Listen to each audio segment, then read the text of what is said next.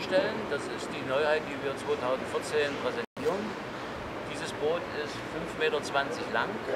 Es hat eine klassische Seekajakform und hat auch eine hohe Anfangsstabilität, sodass wir also einen, eine gute und, äh, Fahrt damit machen können.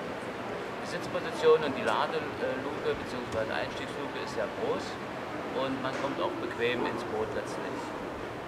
Die Materialien sind Kunststoff, das heißt also wir haben ein Kunststoff-Oberverdeck, wir haben eine PVC-Haut, die sind verrottungsfrei, ich kann das Boot also auch nass verpacken und habe damit also kein Problem.